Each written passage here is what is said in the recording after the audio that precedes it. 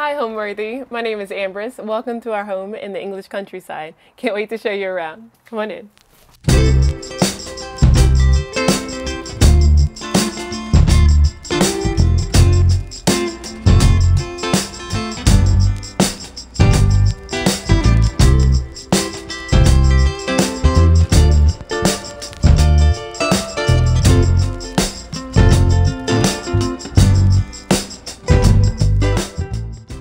Watching Homeworthy, where we believe every home has a story.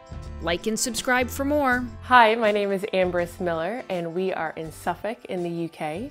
Um, we are at our home um, that has origins of the 17th century. So I am originally from Birmingham, Alabama, uh, born and bred. My family, from as far back as we can trace, are from Alabama. Um, but I actually moved to the UK about 13 years ago. It was right after college. Um, I went to Davidson College in North Carolina and I started working for Bank of America um, in Charlotte, which is only about 20 minutes away from Davidson. And there was an opportunity to move to London for a project. And I remember saying to my boss at the time, uh, put me in coach. I, I want to go to the I want to go to London. I want to go to the UK. Um, it was really because I had traveled abroad when I was at Davidson and we had about two weeks in London and fell in love with art, history, culture, and I was dying to get back. So the first opportunity that presented itself with the bank at the time, uh, I jumped at it. And 13 years later, here we are. So we are in Suffolk in the UK. So we're in England. It's what in the region called East Anglia. Um, and it's a wonderful part of the countryside. Um, so we are about an hour and a half by train um, into London or from London. Um, I drive or take the train into London probably about two or three times a week. So it's pretty accessible from that perspective. But we're in a beautiful little village um, just outside of Bury St. Edmunds, and I absolutely adore it. It's funny because whenever my friends from back home in Alabama come to visit, or friends or family, they say, You moved 3,000 miles away just to move back home. Um, and that's really because it, the village definitely has a kind of an Alabama feel to it, kind of a small town, slower pace especially outside of London. Um, and it also means that you are able to get a bit more for your money than if you were to live in London. Our home has origins from the 17th century. Um, you, it starts from the back, uh, so about 1650 is when the original foundations were laid foundations. It's, it's kind of built on earth because there weren't such thing as foundations back then. Um, and it's kind of a bit higgly-piggly towards the back of the house. And as you move forward to the front of the house, that's when you see slightly larger proportion rooms, um, slightly higher ceilings. And again, that's just because as the families, as generations continued on that lived here, had more and more money, they would upgrade or effectively add on an extension towards the front. And so the most modern part of the home is the actual, the front, which is a bit of a Georgian um, exterior. I live in our home with my husband, Ben, uh, and our 18 month old little boy named Hendrix, and our two dogs, Theo and Edison. So we are in the foyer. So the way the house is built is that it runs, it has two long hallways that runs from the front to the back of the of the house um, on the top and then the bottom as well. And then all of the rooms go off of those um, hallways, which is really nice because it means that when you open your front door, you can see all the way through the back if I don't close this divider door. Um, but this foyer, we really just wanted to have a bit of a punch when you first walk in. We also wanted to complement these original tiles, these Victorian tiles, but I like to say that this is kind of like the religious hallway um, uh, as we move into the foyer, just because I have some of my religious paintings up. I'm obsessed with anything Italian Renaissance or anything Italian or really continental European religious studies. So uh, that's just my background in art and art history. Um, but one of the things that we wanted to have as a focal point, and we ummed and awed about this the entire time, is having this Sputnik, this Murano Sputnik chandelier. It's probably the one thing that I had to really convince my husband on um, because of the size of it. And as you can see, it's, it's not the biggest space when you walk in, um, certainly compared to some of the homes I've seen in America where they have 20 foot ceilings We don't have that there. We don't have that here, rather. Um, but what I think that this does is it adds a bit a contemporary flair, but also a focus on that artisan and craftsmanship, uh, which I think is so integral um, to any any piece. But the funny part about this is that even though it's we, we just about got it in this space, I couldn't actually add on the bottom Murano spikes because otherwise it would touch your head as you walked by. And my husband and I are quite tall, so we didn't want to, to, to potentially bump into it and knock it down. Um, but I absolutely love this foyer. I think the, the fun part about it is this color green, which took me about two years to find. And I've painted this probably like four or five times. different colors of green. Um, this is actually called a night vision green, and I think it's perfect. I think it has the a very classic feel, but again, a, a punch and a pop of color, which I think is always really nice when you first walk into a home. Uh, I think it also really uh, works nicely against the, to showcase some of my favorite pieces, which are two French oils. Uh, they're from the turn of the century, so around 1900. French oils. And we actually got this when we were on honeymoon.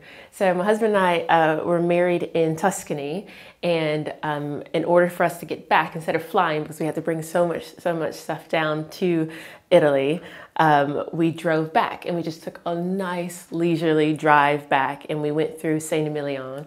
And of course, I have a habit of no matter where we are, type in, see where I am on Google, and then type in antiques to see if there's anything nearby. And there was this amazing antique shop uh, just outside of Saint Emilion. Um, and this little man who had just floor to ceiling antiques, and he had these two pieces in the back. Um, they're oil on wood. They're not by the same artist, but they would probably have been completed by um, almost like studies, academic studies. So probably two pupils in the same in the same uh, class. But I think they're just fantastic. There, there's nothing grand about them. I don't think that they're they're not pretentious whatsoever. They're just studies, but I think they're so beautiful. And every time I see them, I kind of think about our honeymoon and how much fun we had. One of my other favorite pieces in the foyer, and again, I just wanted to put everything that I love really uh, a lot just in one space, right? Um, but is this this a beautiful uh, Italian bust? Um, it's done after an 18th, 19th century um, Italian bust. This is probably early 20th century, but I think it still is, is quite beautiful. Um, and the idea is anything that has a skull in uh, from a motif perspective is just talking about brevity of life. Um, so it's a memento mori is what the, the term is referred to, but I just think he's really fun. He's usually wearing a Santa hat during Christmas. Um, he's wearing birthday hats if there's a birthday. Um, right now he's wearing a fez that I, I don't even know where I got this from, but I just thought it was quite fun. And then um, what I always love to use is bring a lot of different color and different stones and layer. Uh, and so these are some, some amber uh, beads that I found when I was in Istanbul. Um, but yeah, I just think he's, he's really fun. Um, another fun piece that I think is really classic and you'll see throughout the home is uh, these chinoiserie uh, blue and white ginger jars. So these are porcelain ginger jars um, that I had commissioned um, when I did a, um, an artist residency in China um, about five or six years ago, if not a bit longer than that. And I fell in love with the, the region, of the capital, the porcelain capital of the world. And it's something that, again, you'll see throughout the home because I feel like it's classic, um, but also it's very fun. The artisan and the craftsmanship required is, is second to none. Um, and it's something that Relic has really kind of become known for. It's just my general obsession with bobbin furniture in blue and white ginger jars uh, alongside oil paintings. So um, there we are. I think I've stayed in the UK for so long, mainly because I love the history and the culture of it. So when I was uh, at college, so when I was at Davidson College, I studied art and art history. Um, and before that, when I was in Birmingham, I went to the Alabama School of Fine Arts majoring in art. So to be able to live in a place that had so much rich culture and just had also so many different cultures culminating in London, especially as a hub, really made it hard for me to leave. So I work in finance, but I also founded a business called Relic Interiors uh, that's an art and antique stealing business about three years ago officially, though I've been collecting for many years before that. Um, the ethos for Relic Interiors is really to make art and antiques transparent and accessible because I really don't think that you should be limited by your budget to live with beautiful things. So the, what's really fantastic about having your own art and antiques business is it means that you can decorate your house and it's constantly changing. Um, and that's really where our home comes into its own because we're able to use uh, the various rooms, the different settings to really kind of showcase the various pieces that I offer on Relic. Um, it's all on Instagram and we have a website, but it's really fun to kind of play around with the decor of the home when I get new pieces in. So now we're in the snug. Um, the snug is a bit of a different concept um, versus the UK versus America. I would say it's most akin to like a den, um, but the idea that it's snug, it's snuggly, literally snug as a bug in a rug, that type of that type of mentality. Um, and because of that, is I guess the informal sitting room. Um, and because of that, we really wanted to kind of lean into it being a bit darker, a bit moodier. Um, this is the perfect winter room because when it's dark and cold outside, we have the beautiful Inglenook fireplace there. My husband loves doing a big fire, a roaring fire, um, and it's really nice just to have sat here, cozied up, reading a book or watching our favorite uh, program. Um, but yeah, it's probably one of my favorite rooms in the house. Um, again, I was in charge of all of the art, which was really nice. Um, but my husband, this is his claim to fame, he picked out this color, this wall color. So it's called Mission Blue. And um, we knew we wanted to go for a deeper, darker color. We were thinking about a dark green, but that I knew that I wanted the foyer to be uh, a green. So I thought, I don't want this to look like a hunting lodge. so, so we finally settled on the color of blue. And again, it's those, those uh, process of discovery. Um, what I think is really nice is that any of the deeper colors or bold colors, really, um, they really have the opportunity to showcase artwork. Um, I am a bit partial to kind of a gold, uh, gold framed picture. So um, yeah, it works really well. Um, some of my favorite pieces here are, oh gosh, where do I even begin? I love this this Selene horse head. So this is from the Pantheon.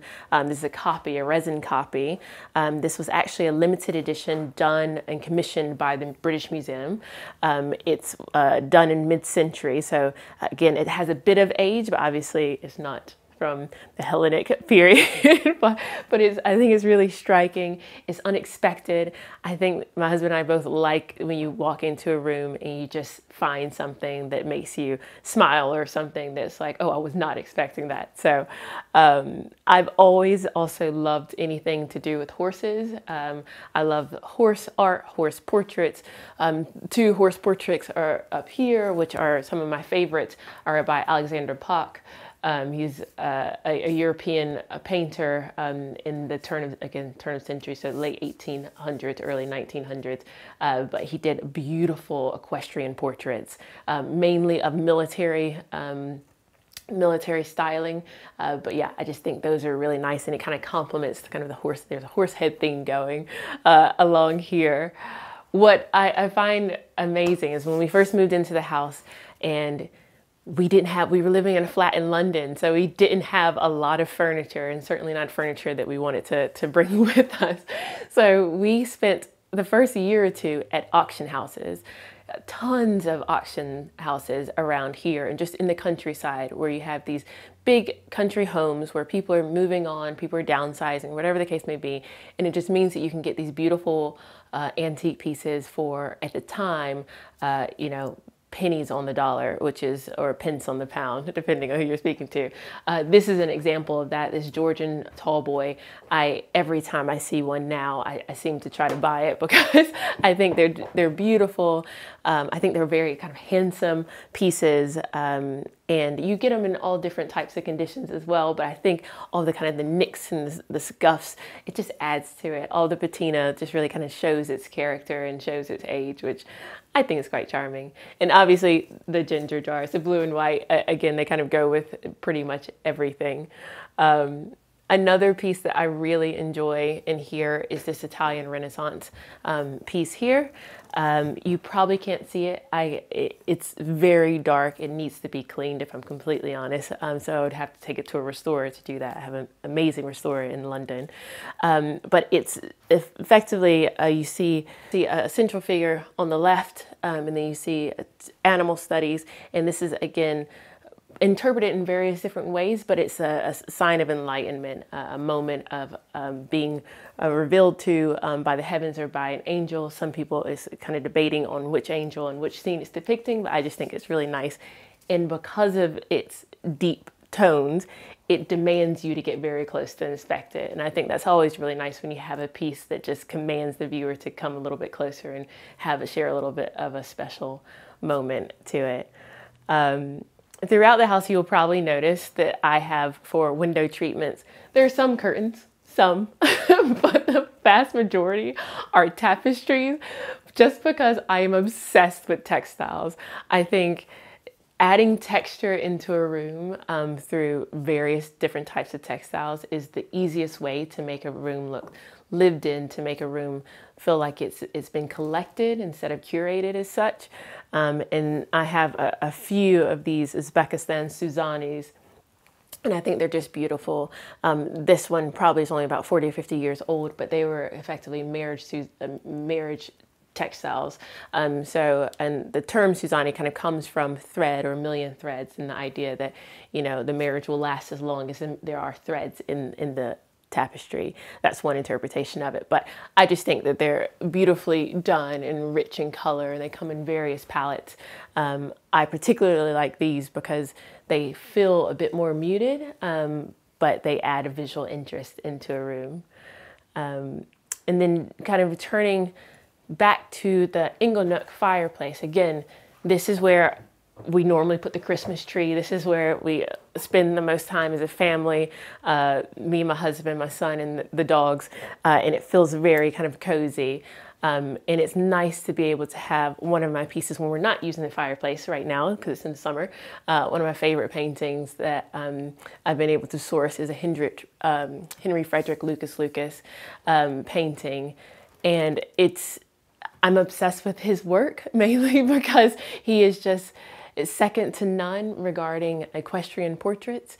Um, I think the detailing is really fantastic. This one is actually, I sourced this one for Relic, but I have one that I bought um, at auction that I don't think I could ever part with just because it's, it's really quite special um, to me. Um, but it's nice to have this on display here um, when we're not using the fireplace, but obviously when you're using a fireplace, do not put any artwork above it. Especially not one like as old as this one because is I'm sure modern fireplaces are a little bit better insulated, but this one is not. Uh, but yeah, that's this is the snug. Uh, I think it just has such wonderful character to it. I really love the exposed beams. I think that's a, a really kind of fun and authentic um, uh, element to the room. Uh, and this is where, again, we spend so much time as a family.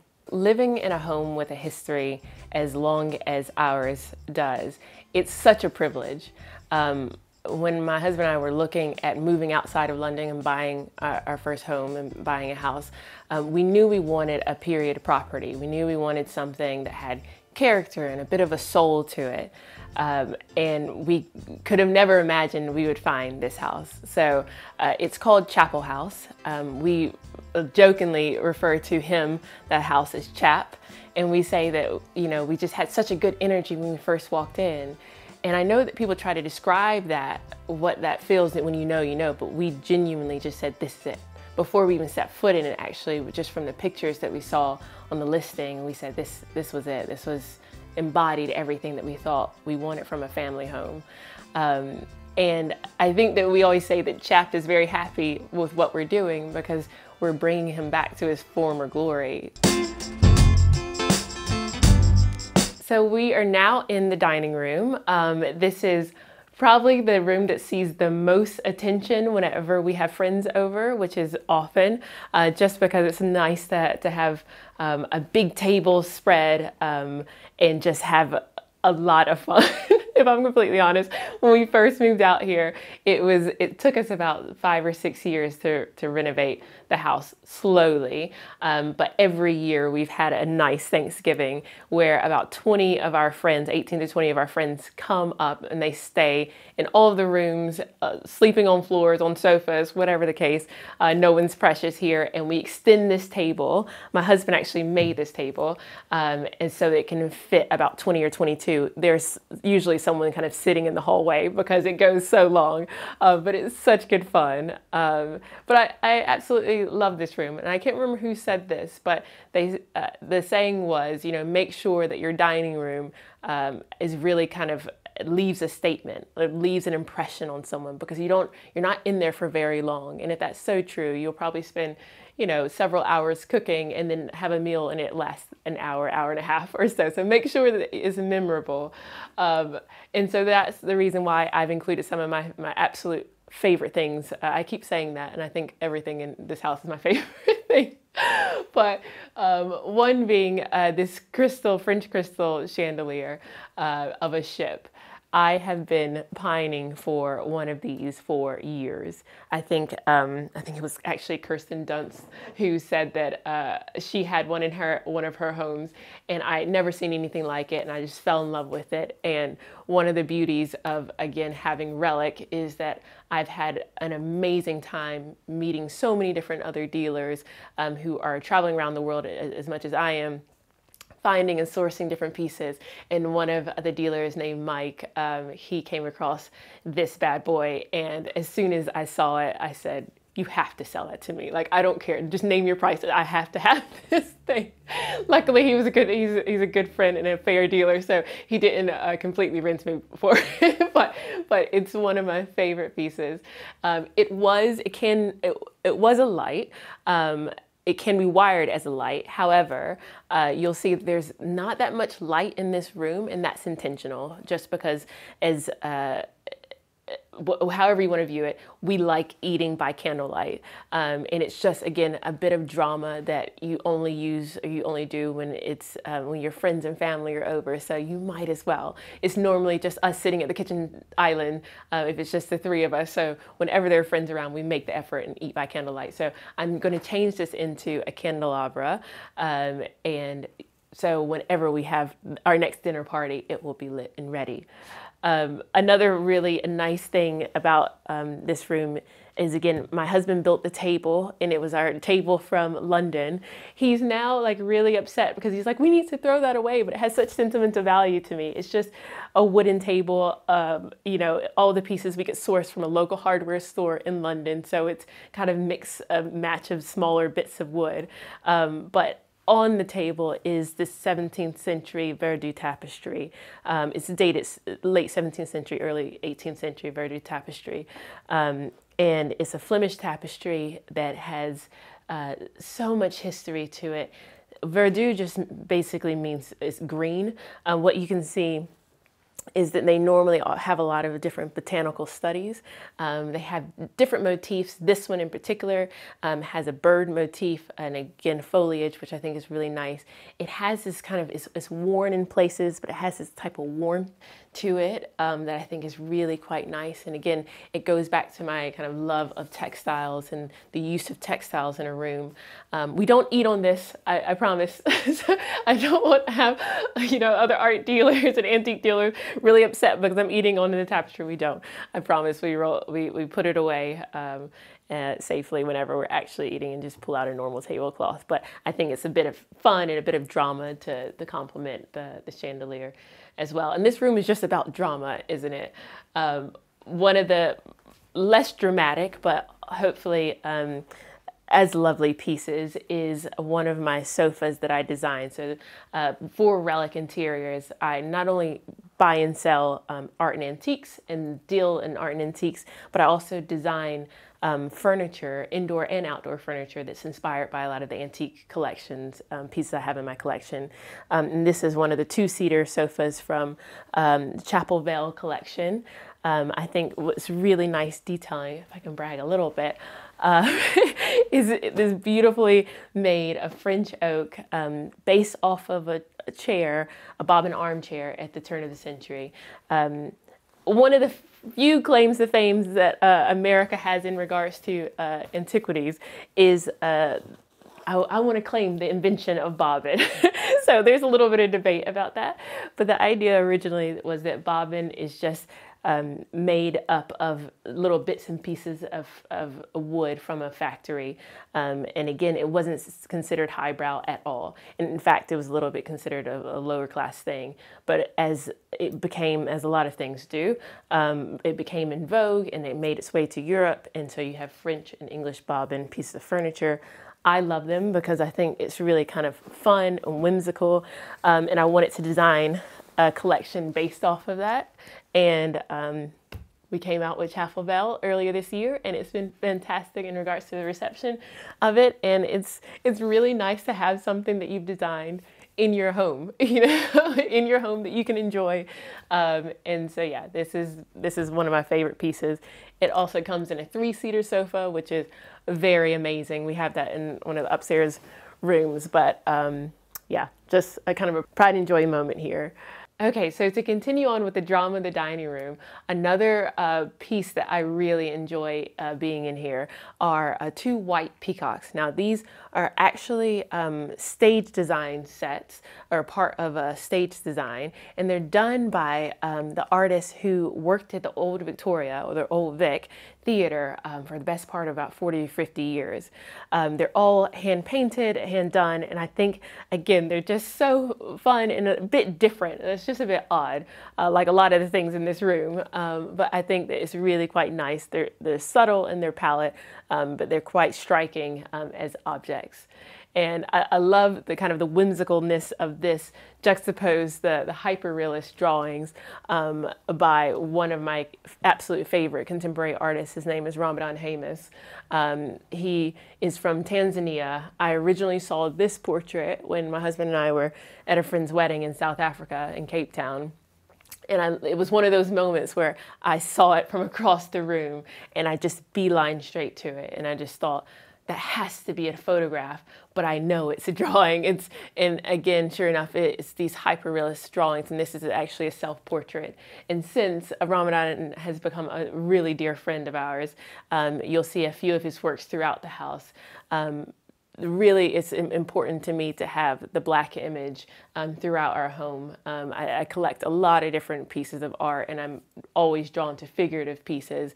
Um, so it's really nice to have the black image uh, juxtaposed to some of the continental European antique paintings that I have. I think it's a really kind of a nice and fun play on design. So I am obsessed with having a really nice tablescape. Um, and so I, wherever I go, I'm constantly collecting different plates and bits of china um, just because I think it's really fun to have something interesting um, when you're at a dinner party. Um, some of my favorites are this is um, based off of a, a Spanish lebrillo, um, but it's a contemporary piece. So lebrillos are um, these big, beautiful salt glazed um, bowls and plates um, that have this kind of traditional blue and green design, which I think are really fun. That combined with something really fun and contemporary like this Emma Bridgewater uh, piece of ceramic. And again, it, it's just, I think they're really nice and fun and colorful. Um, and then this one is probably one of my favorites as well. It's uh, a Turkish design, um, hand painted in Turkey. I think I smuggled this in my carry-on when I was coming back. But yeah, so as far as my personal style and how we decorated the house, um, it's a little bit of everything. I joke to say with Relic, we go from classical to kitsch, and I think that's very much the style of this home. Um, we want it to be true to the, the, the, bones of it, and it has so much original charm and history. Um, so we didn't want to go super modern because that's not really our, our taste per se, even though we like modern pieces and we kind of sprinkle them throughout. Um, we really wanted to, to lean into that, that characterful, really kind of deep, uh, traditional style um, with pops of culture and pops of color, you know, throughout. Um, so each room, it, it's funny because when my husband and I, before we were married, uh, we talked about what would be our dream home. And he said, oh, in my dream home, every room would have a different theme and every room would have different color. And I remember thinking at the time, like, ooh, I don't know if that would feel very cohesive or look, look very good. But I didn't, I didn't say that because I still wanted to impress him. So I was like, yeah, definitely agree with that.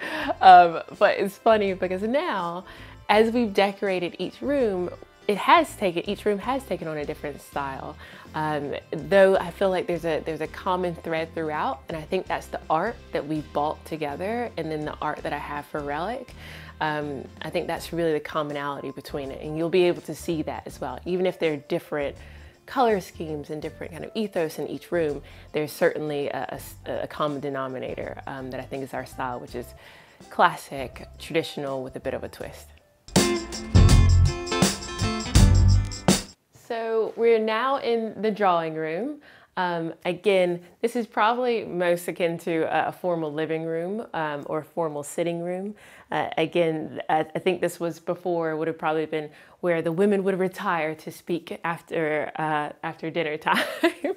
um, but for us, it's really just a, a room to have a lot of the things that we've traveled and collected, uh, things that we uh, really adore. And we actually use this room a lot, especially after we put Bubba down to sleep.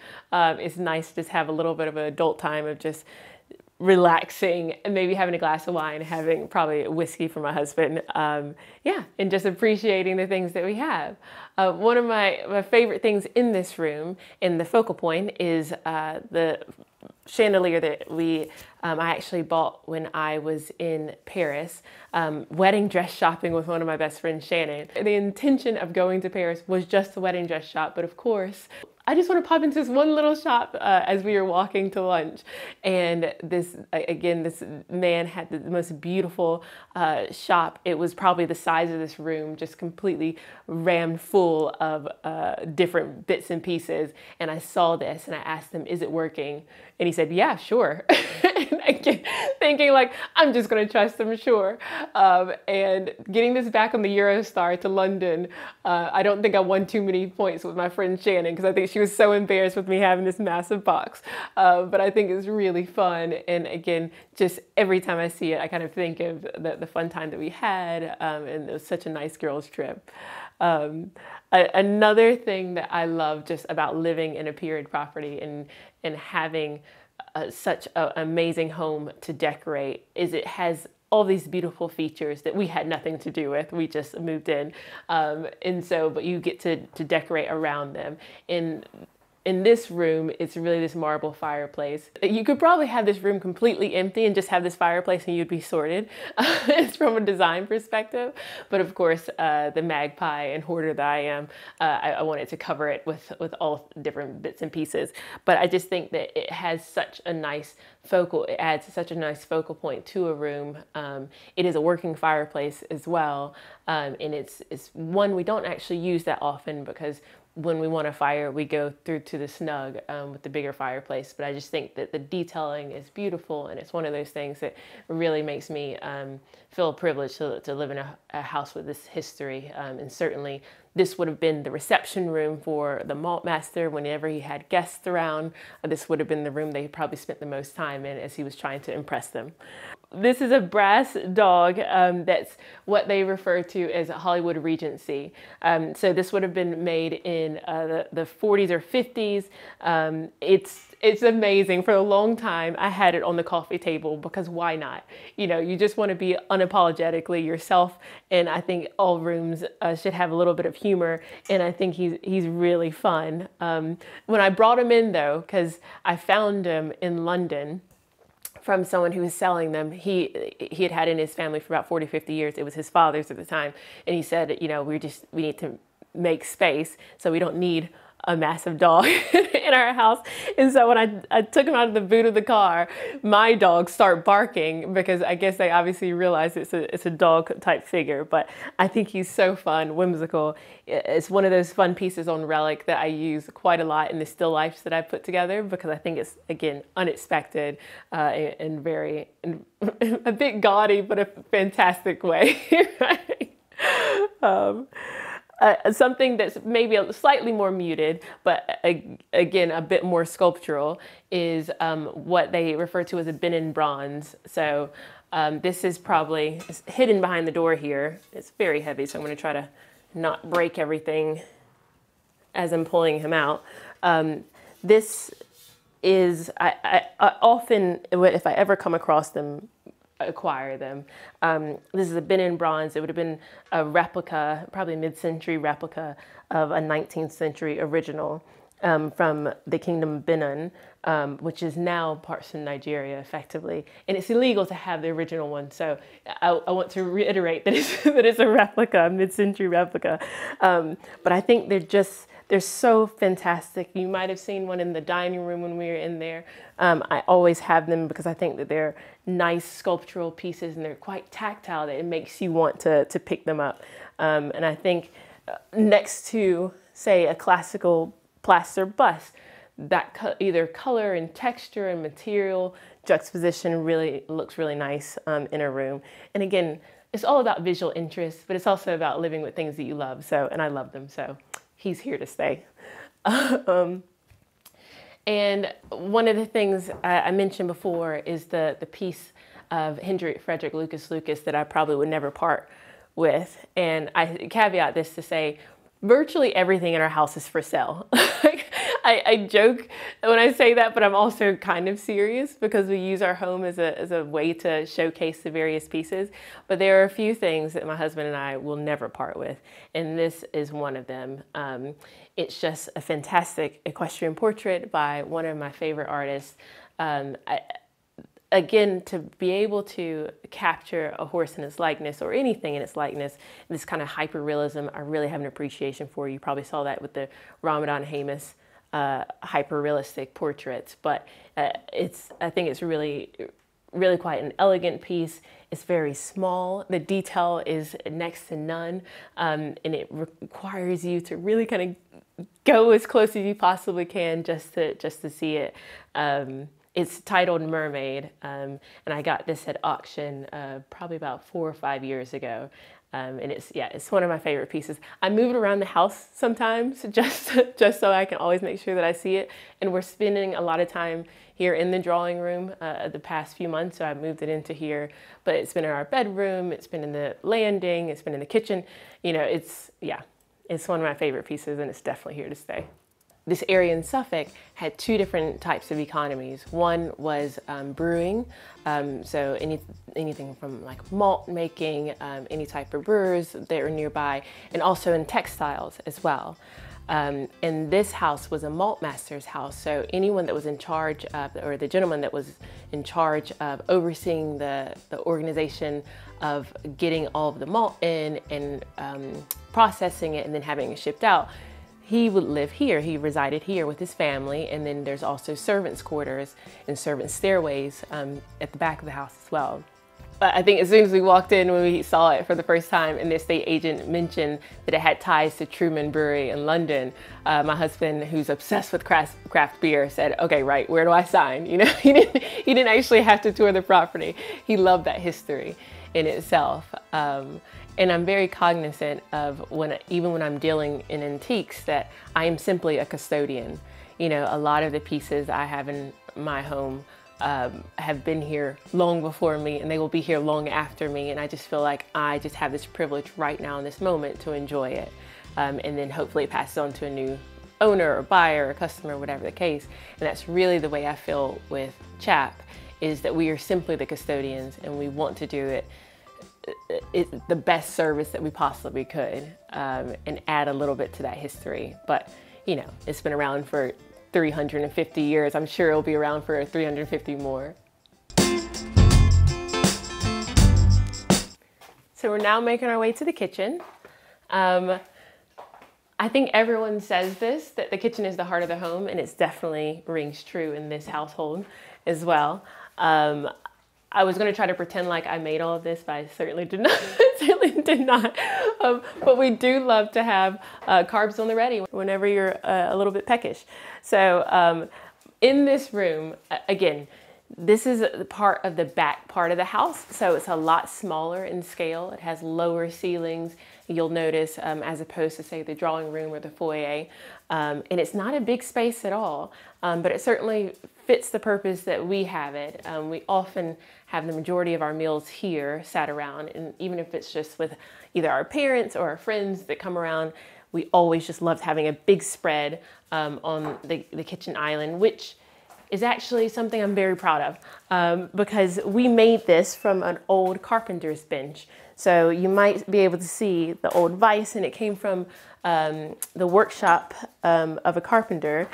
And we loved it so much because, again, that kind of antique and old, and this isn't antique, it's probably like early 20th century, but it, it, just has a really beautiful kind of age patina to it. But to make it functional, we knew that we needed to have a white, clean surface top because all the little holes uh, and the scratch marks in the top of the carpenter's bench is not conducive for cooking. So um, we found an old restaurant that was a seafood restaurant um, and they were closing down and they had two massive stainless steel tables and we effectively cut the legs off of them. I built a subframe underneath the, the tabletop and um, so that we could then attach it to the carpenter's bench. But whenever I want to make it look fancy, I put on uh, a nice a nice tablecloth and then just set out a spread. Um, but when it's us, it's usually just the stainless steel version, and then we just wipe it clean. Especially with a toddler and their little smudgy fingerprints everywhere, it's it's a lot easier to deal with.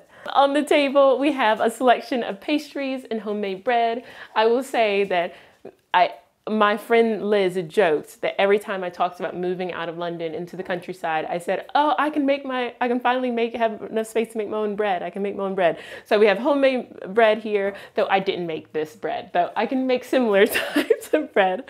Um, and then we just have some pastries, which uh, my husband loves. He works from home, so uh, he loves it whenever I set it up like a patisserie or or something. Um, but yeah, it's it's really fun. And again, this is a a very kind of cottagey kitchen.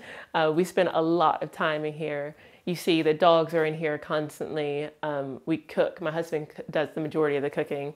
Um, so one of this kind of splurge items in the house uh, for doing a lot of the renovation ourselves, it meant that we can really kind of splurge on the items that we really wanted was this um, eight eye Lacanche uh, cooker range and it has a double oven and it cooks a 20 pound turkey in about two hours. So it is uh, well worth it.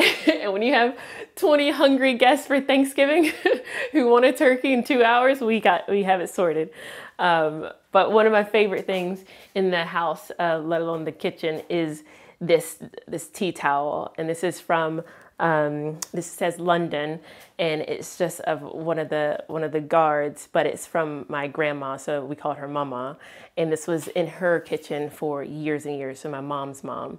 And it's so funny that it's almost like she knew that one day I would move here, or one day one of us would move here. But it's just really nice to have around, um, and as a reminder of my roots in Alabama and of my mama, because she was a formidable woman, and hopefully I can be half as amazing as she was. So, um, but yeah, we just we love to have uh, some of our just incredible things here. Um, but it's so it's so practical. Like even this tablecloth, this is uh, amazing. We got this in, in Rhodes.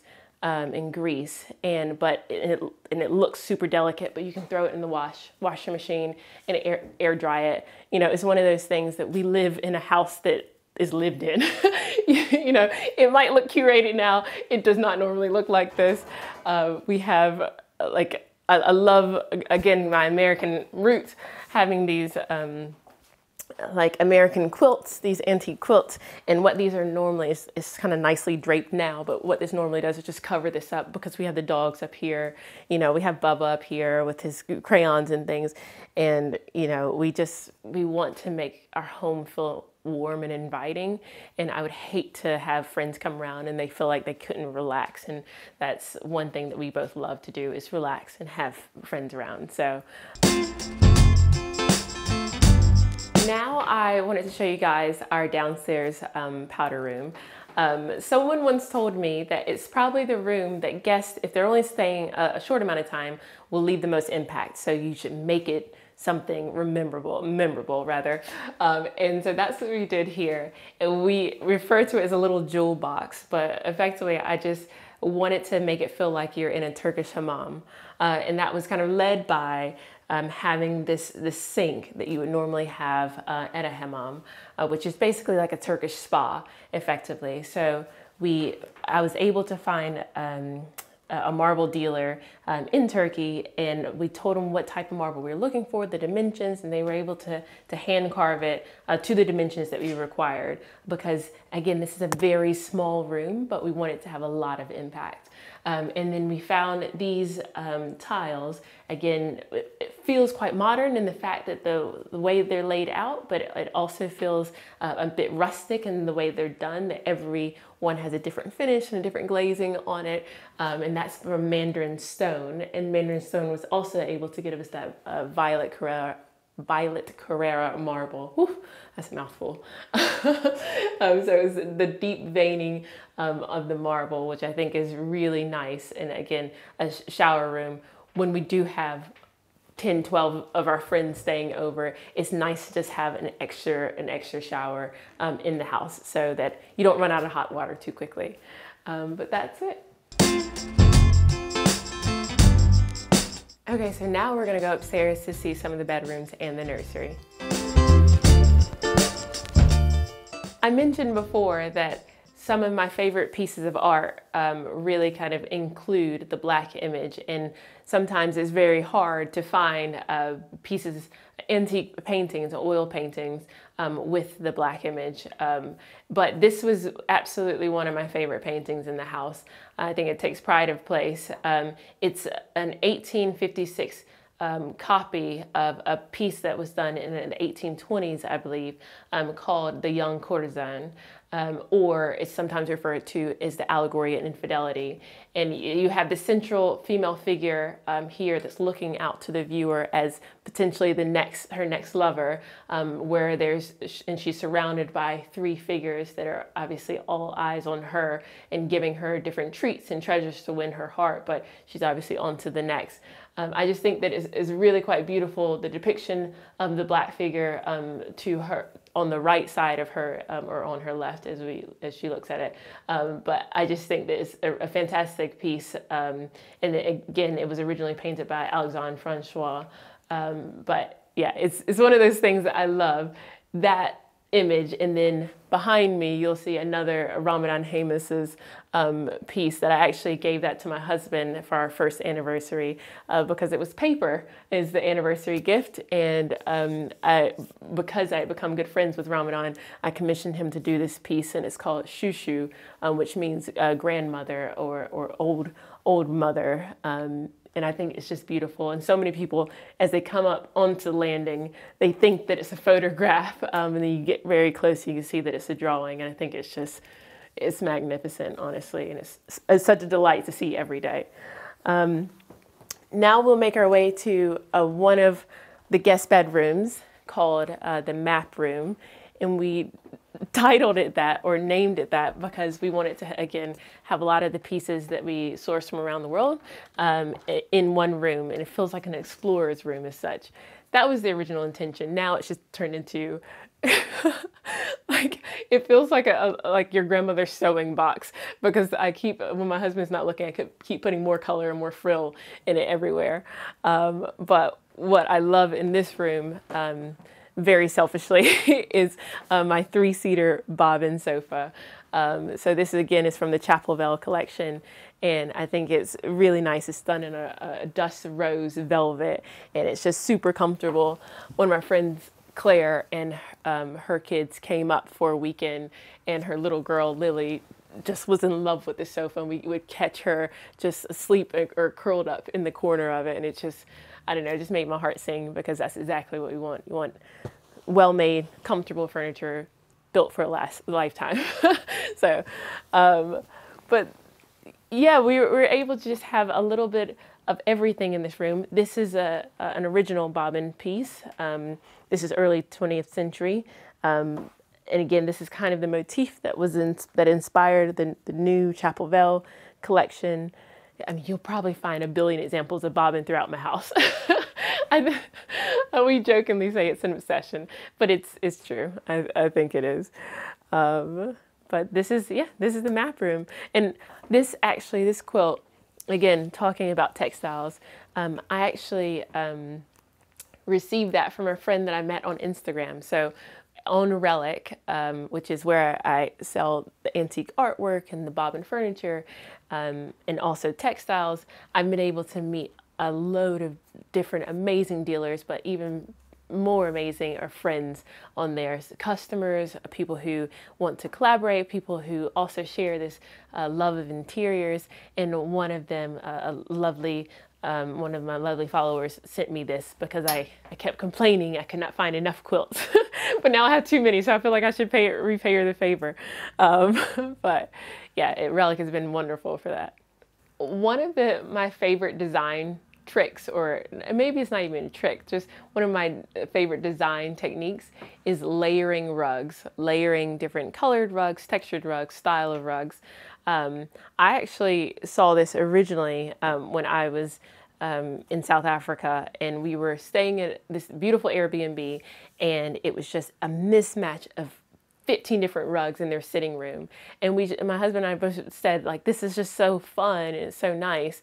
And so it was a, certainly a conscious effort when we had the time and space to finally uh, to layer the various different rugs. And again it kind of goes back to what we were talking about this kind of this idea of textiles and adding texture and color.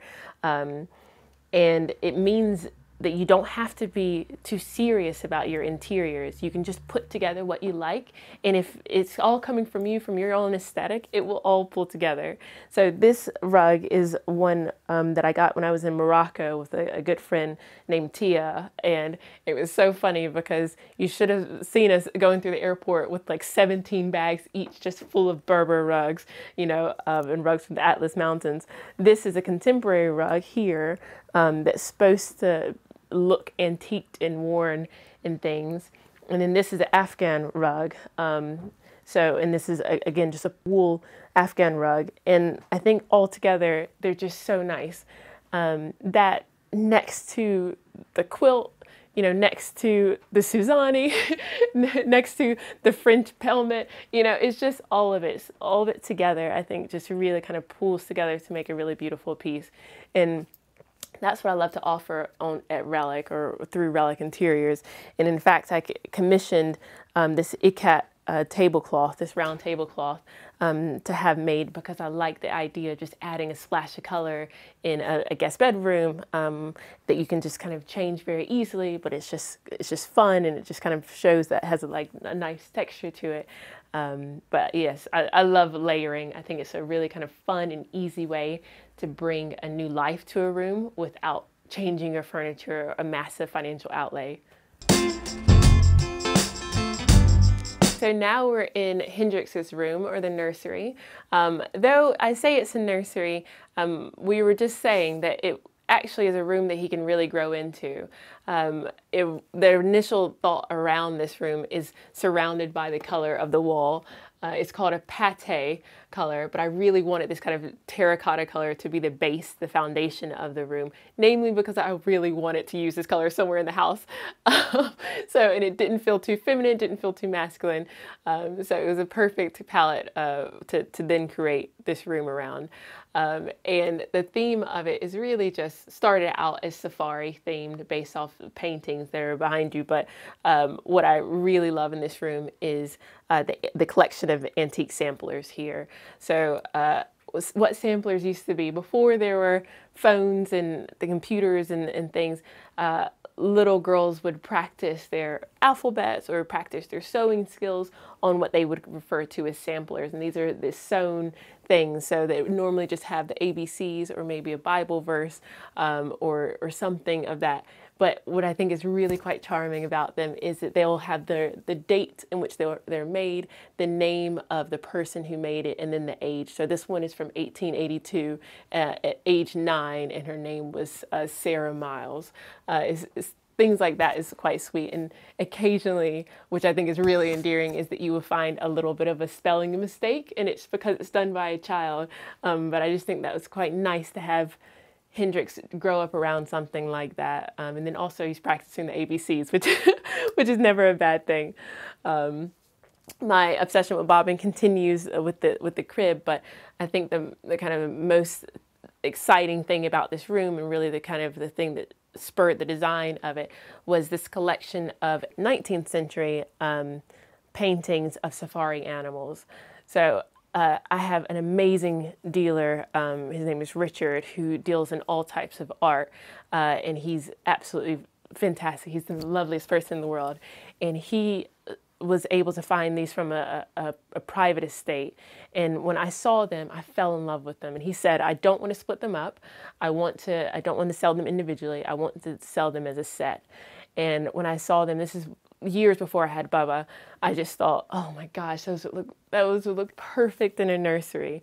But I don't want to jinx it, so I, I, I bought them with the intention of selling them on, uh, but secretly hoping, I think I put them in a price point that it was too high that anyone would actually buy them, so they wouldn't actually sell. So, and as soon as we found out that we were expecting Bubba, I immediately took them off from sale and, and knew that they were going to have uh, the pride of place in, in his room. Um, so it's, it's funny because I'm sure we could simply Google what this animal is, but my husband and I just like to pretend like make up different names for it, and and Hendrix is starting to make up different names for it as well. Um, but yeah, I just think this is a, such a nice room. We wanted to have a big couch because if you've been there with newborn days, you know you won't be getting a lot of sleep, and so um, we've spent many a nights sleeping here while he's trying to trying to get some rest. But um, this is this is probably my favorite room because it's the room that my little boy went from a little baby to this rambunctious, willful toddler. So um, yeah, it really holds a special part place in my heart. Home to me means a place where you can genuinely be your authentic self. I, I don't care how cliche that sounds, but I I often speak to people and they when we talk about decor or styling or what to do with their interiors and they say, oh, I've, I've seen this trend, I really like that. I, I see that trend, I really like that. And that's fantastic, but surely you want your home to be a place that really kind of embodies everything that you believe in, everything you love and cherish. You know, you shouldn't follow some hashtag or some trend because it seems popular right now. Um, I, we always say we, we have the absolute luxury of being able to travel around the world, visiting family and friends and seeing new places and doing new things. But we always say as soon as we come home, there's, there's just kind of this, this warmth that we really just can't wait to get back to. Um, and I think that if you can create that, you know, I think you really kind of won the lottery. Thanks for watching. For more Homeworthy content, be sure to like and subscribe.